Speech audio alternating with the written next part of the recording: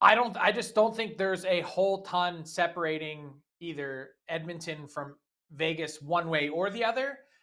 Same thing with the LA Kings. Same thing with you know anyone else that they'd potentially match up with in the first round.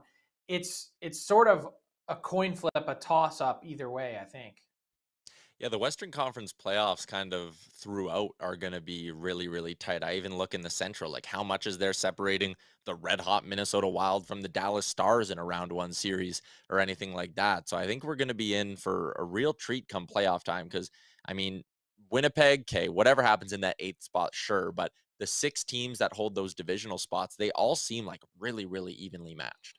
Yeah, they're that's those six teams are the big boys in the West. I mean, they're all sort of yep. equally capable of taking down each other. It's wide open. And when I say that, I truly believe it. I think the one team that has set themselves apart, I think, in the last four weeks, the last month, has been the Colorado Avalanche.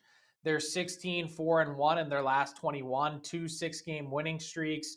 Um, they're also at some point um, going to get Gabriel Landeskog back in the playoffs. And so when you've had the team on a hot streak as they've been, and they're going to add a critical piece back. Like I think, to me, they're the team to beat in the West. And I think if I were to, you know, create a pecking order of of teams that I believe have the best opportunity to advance to the Stanley Cup Final in the West, I'm going Colorado one, Edmonton two.